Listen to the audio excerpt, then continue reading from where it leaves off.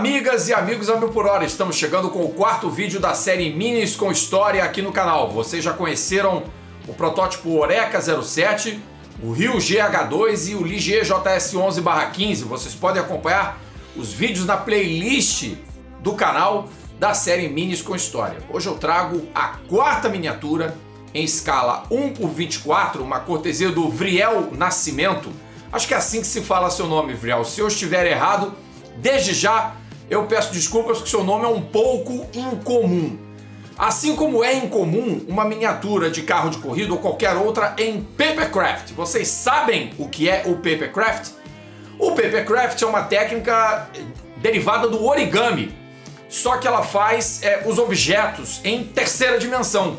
E foi exatamente o que o Vriel fez. Ele construiu uma réplica em 1 por 24, como falei, do Copersuca Fittipaldi F5A em Papercraft e mandou pra gente por e-mail.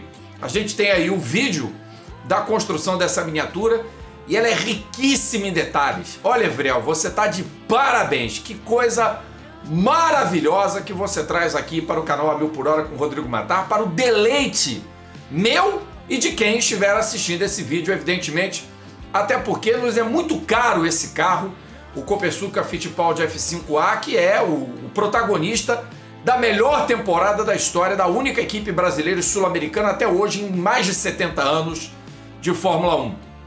A ideia do F5A, ela nasce de uma correção de rota, de um desvio de rota, de um projeto que aparentemente era bom, porque o carro do qual era derivado não era tão ruim assim, mas a equipe não vivia um bom momento depois de alguns erros no, no seu início, né, da sua trajetória na Fórmula 1. Não tinha uma temporada legal nas 375, não teve né, um, um ano razoavelmente bom, com o conceito do FD01, depois do FD02 e o FD03, que foram os primeiros carros. O FD04 nasceu bom, começou bem, mas teve uma série de problemas ao longo do campeonato de 76 e o Emerson Fittipaldi só fez três pontos naquele ano e ainda passou pelo vexame de não se classificar no Grande Prêmio da Bélgica.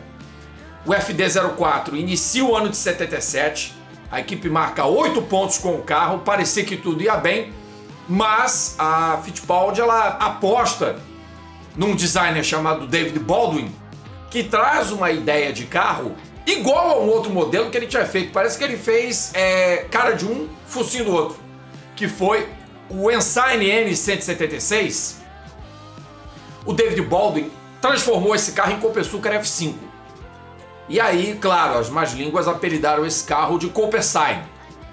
O Emerson Fittipaldi teve mais outros dissabores, não se classificou com o F5 em dois grandes prêmios, Itália e Alemanha, e foi quarto colocado no GP da Holanda em Zandvoort, que o Emerson nem sabe como conquistou aquela posição.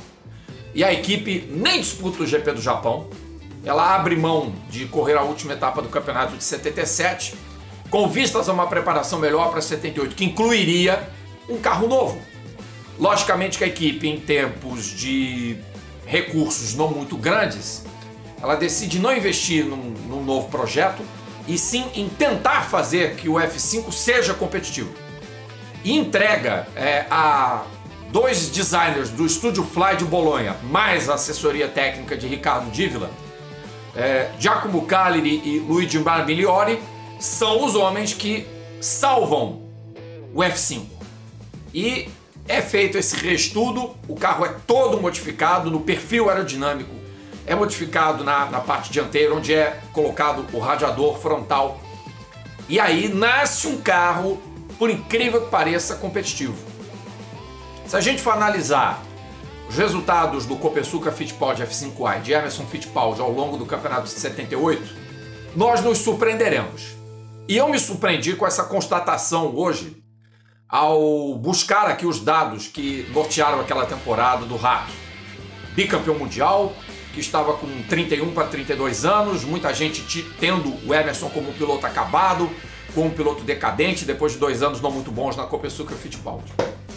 Pois bem, o Emerson terminou 10 das 16 etapas do campeonato de 78.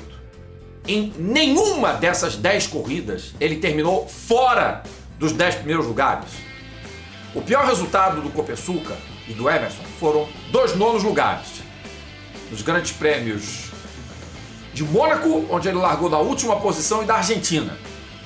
Nas outras provas em que ele não pontuou, ele foi oitavo no GP da Itália e mais uma outra etapa também. Ele terminou na P8, se não me engano, o GP dos Estados Unidos em Long Beach, na Califórnia.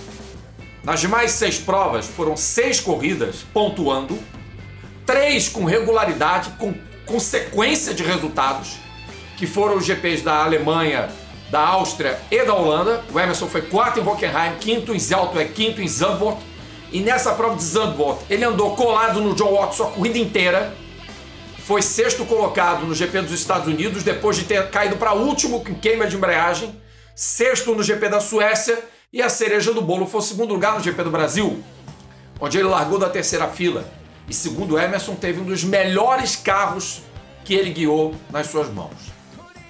Então não foram resultados ocasionais. Foi uma temporada excepcional para o nível de uma equipe que estava no seu quarto ano de Fórmula 1 e que bateu a McLaren no Campeonato Mundial de Construtores, é bom lembrar.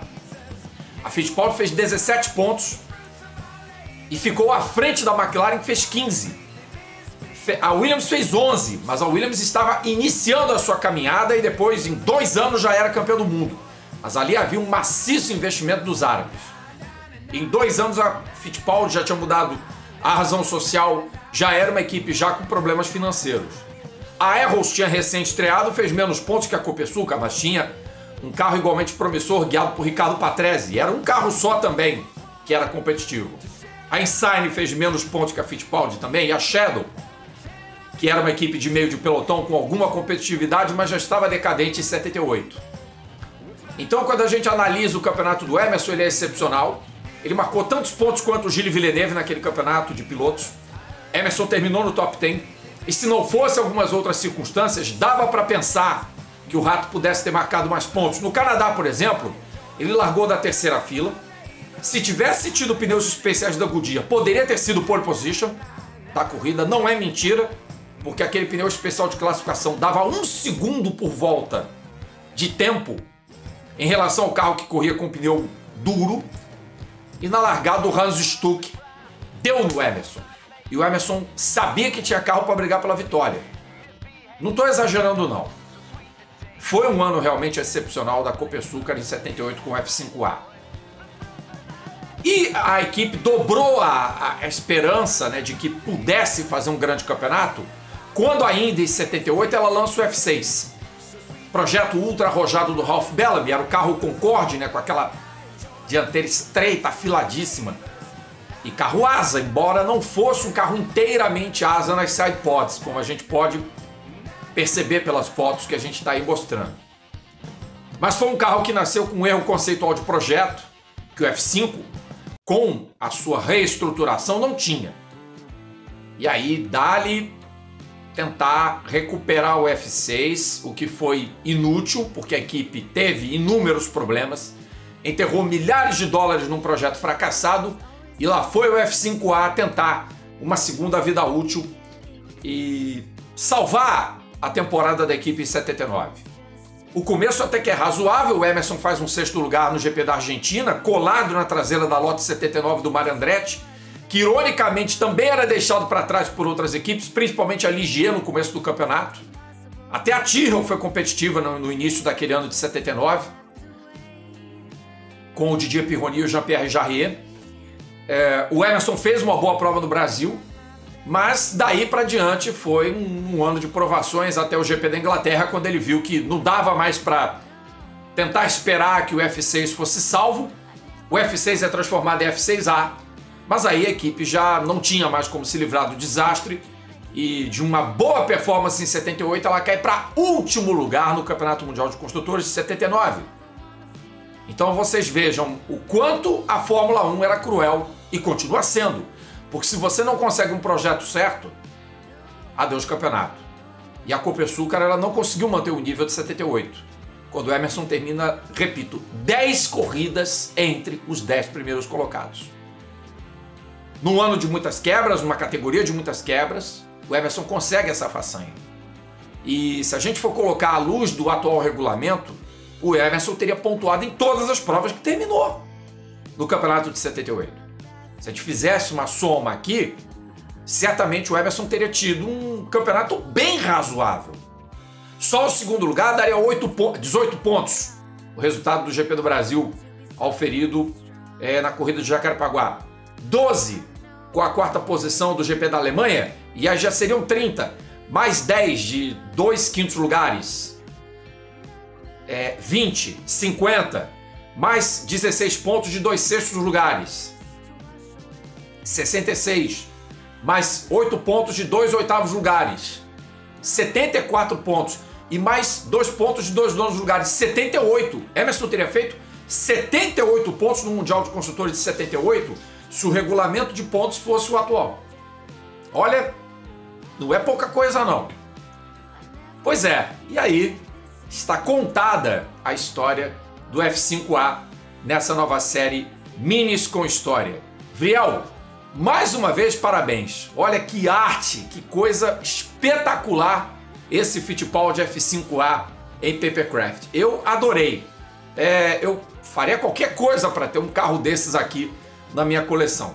Se você não se incomodar, até pago para que você faça uma miniatura personalizada para este aqui que vos fala, até porque fiz aí, ó, aí, mostrando a sua arte nesse dia do quarto vídeo da série Minis com História aqui no canal Mil por Hora. Então, se você tem uma miniatura e quer vê-la aqui no canal, seja por foto ou por vídeo, se você puder explicar, amigo ou amiga, e você tem essa sua miniatura, escrevendo as características dela, tamanho, etc, etc, mande para o meu e-mail, amilporh, A-M-I-L-P-O-R-H, tudo junto, logicamente, arroba gmail.com. É o canal para que você envie o seu trabalho, se você tiver em papercraft, ou se você tiver de qualquer outro jeito, ou a sua miniatura mais preciosa da sua coleção e você quer vê-la aqui e que a gente fale desse carro de corrida aqui no A por Hora com o Rodrigo Matar, você é muito bem-vindo. Saiba que esse espaço também é seu. A série Minis com História volta na próxima quarta-feira. Até lá, tchau, tchau!